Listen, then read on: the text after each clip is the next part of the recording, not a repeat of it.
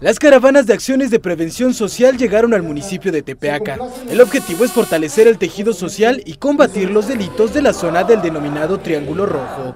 Muy bien, la verdad muy bien. Esperamos que esto sea seguido porque nos ayuda mucho y creemos que, ¿cómo le diré? Este, aparte de que nos están cuidando, nos están protegiendo, nos están dando atención médica, ahorita vamos a pasar a consulta y tenemos todos los servicios. Muy bien. La verdad es mucha seguridad ahorita con los aquí los presentes.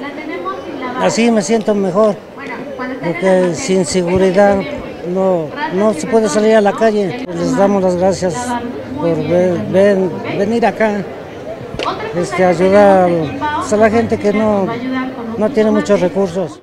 Esta actividad fue encabezada por el secretario general de gobierno Diodoro Carrasco Altamirano, el jefe de la oficina del gobierno Javier Lozano Alarcón y el presidente municipal de Tepeaca David Huerta Ruiz. Estas eh, campañas, estas caravanas de prevención del delito tienen una razón de ser.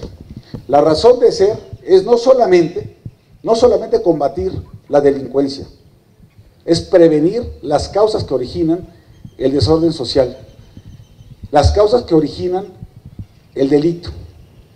Las causas que motivan a niños, a jóvenes, a adultos, a mujeres a enrolarse a las filas de la delincuencia, a veces por falta de información, a veces por falta de servicios, a veces por falta de atención a sus necesidades básicas. Y hoy con la estrategia muy clara que trae el gobernador Tony Gali de salvaguardar el orden, pero sobre todo la protección a todos los habitantes de la región de Tepeaca, son muestras de que vamos avanzando, son muestras de que queremos la paz y la tranquilidad.